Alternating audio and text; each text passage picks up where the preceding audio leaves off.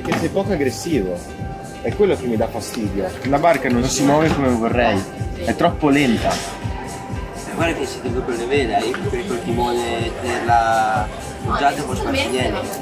Sì, però il, il vedere prima le barche che arrivano da dietro e ti prendono il buco, le vedi troppo tardi quando arrivi.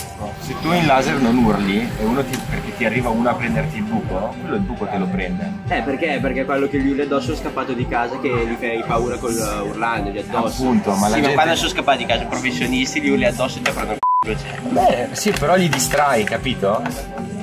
Ma che distrai? Cosa ti costa dirgli una roba in più? Ma non insultarli, no? Qui è il mio posto, ho pagato il parcheggio. Cioè, digli, oh, non sono tutti super professionisti, sono tutti in partenza, sono tranquilli. Abbiamo visto ieri, quando eravamo così, volevamo un po' di spazio sotto, che giravamo sotto, e poggiavi un po' per stringerli. Questi non ti chiedevano a quella che si poggiavano i Era dirigenti. una situazione roba tre minuti, ovvio che ti chiede a quello O si forza un po' di più e, e allora si ha anche più controllo su quello che si fa, se no si è sempre un po', eh, ma questo Per me rullare in barca è una perché primo si mette agitazione tra noi, tra l'equipaggio, secondo urli, che non va bene, ti agiti e dopo sbagli le manovre. ma non è un- un'urlata da isterico, è un farsi che sentire. Vabbè, urla te Greg. La comunicazione nell'equipaggio eh, parte ancora prima di iniziare la regata, ok? Quindi è importante dividersi i compiti, sapere che ognuno è responsabile del suo piccolo dipartimento anche già a terra. La corrente può tranquillamente essere considerata una variabile aggiuntiva del gioco che state giocando. E le variabili sono il percorso, gli avversari, Guardati per favore gli under 23 che ci sono dietro. dove vanno, cosa fanno. La corrente complica il gioco perché mettiamo una quarta variabile, come avete visto all'inizio, e però quando il gioco si fa duro, i duri iniziano a giocare, direi che voi lo siete, per cui è un gioco più difficile, ma è chiaramente più difficile è, più ci sono possibilità di far bene. In bocca al lupo.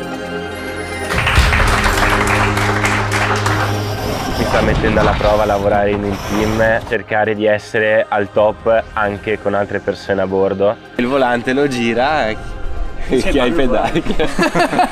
I pedali li abbiamo noi, tu hai solo il volante. Quello che voglio tirar fuori da questa esperienza è imparare sicuramente com'è la dinamica all'interno di un equipaggio anche di professionisti. Stiamo crescendo tanto insieme e ci stiamo divertendo veramente molto. C'è solo un obiettivo ed è quello di arrivare davanti agli altri. Io ti ho detto che ero d'accordo a virare, ma non lì. Ho capito. Perché nessuno mi ha detto no? C'è una barca sotto. Per- È virato. Secondo me Te la sei presa perché abbiamo, ti abbiamo fatto notare Sì, un ma errore. quel- ok, Te e io sei presa perché ti abbiamo fatto notare un errore. E adesso stai chiamando, cioè stai... Non esiste un vero e proprio leader, il leader secondo me è il nostro obiettivo, è quello. Quello qua si vede veramente, si nota che c'è gente che ha un'esperienza fuori da ogni limite.